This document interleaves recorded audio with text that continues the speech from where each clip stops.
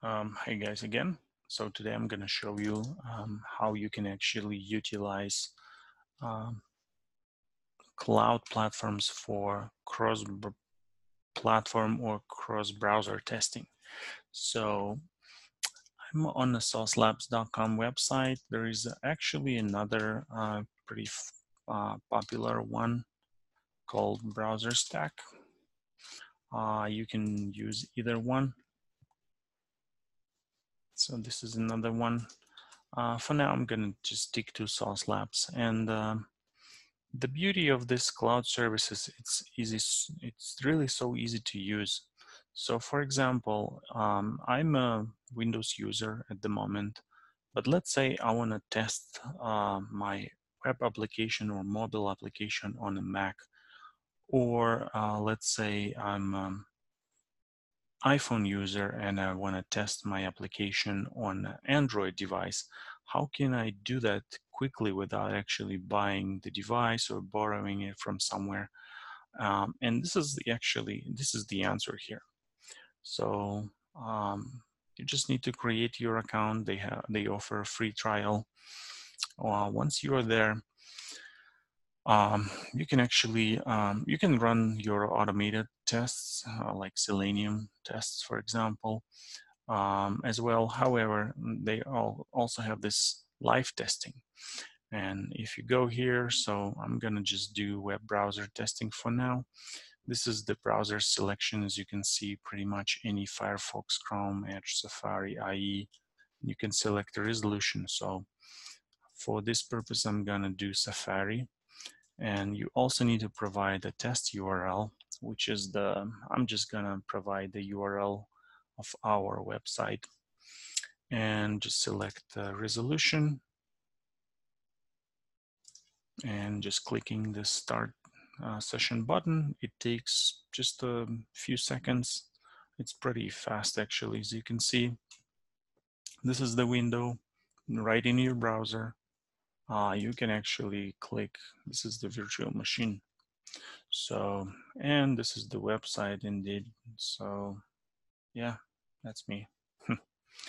Anyways, um, yeah, you can click buttons. You can make sure it's all working fine. Uh, or in case of defects, you can log them.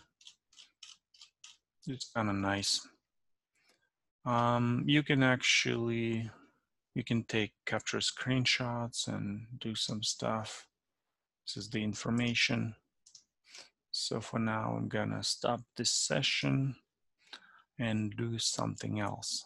So let's actually try to do mobile device as well. You can see there is tons of them available and you can actually pick from virtual or real device. So for now, I'm just gonna try I don't know, iPhone 6, which is free. So let's try this. Okay.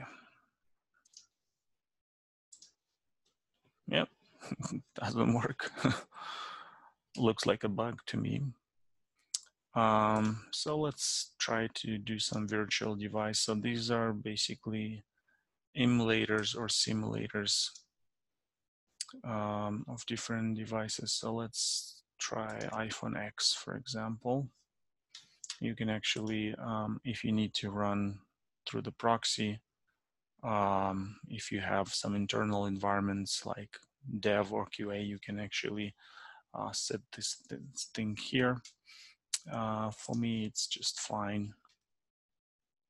So let's see how it goes. We are running iPhone X simulator on an iPhone 12.2, which is the latest. Basically, at the moment, um, it takes a little bit longer comparing to um, Safari. But let's just wait for a second.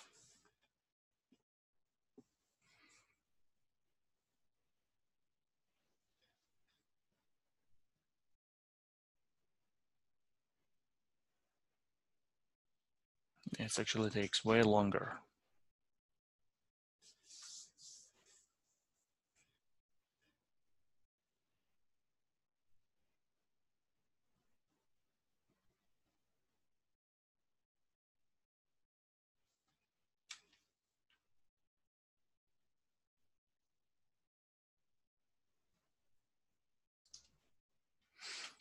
So um, it took a couple of minutes, but seems like it just hang. Okay. Um, yeah, we can try something else. Um, like uh, Google Pixel, let's say, running on Android 8.1. Let's see how it goes. Alrighty, this time something is happening.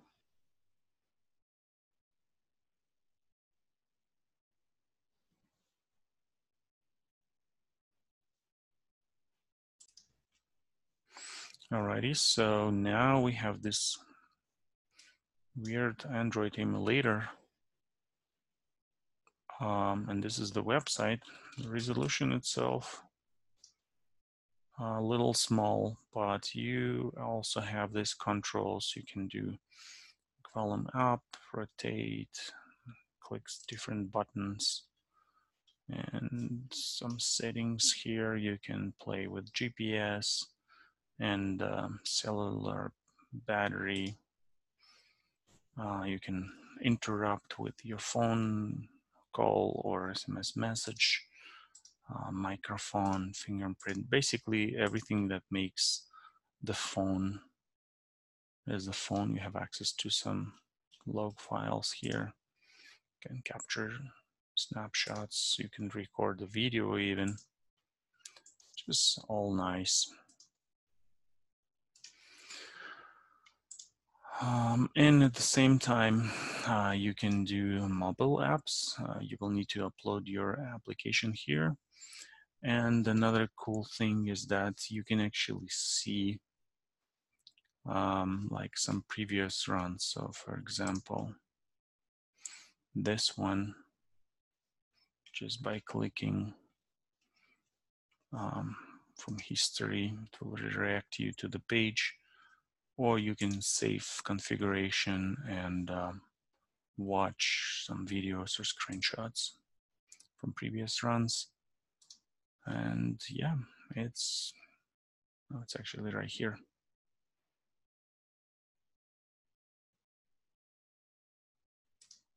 So if you just click it this is the video of the previous session.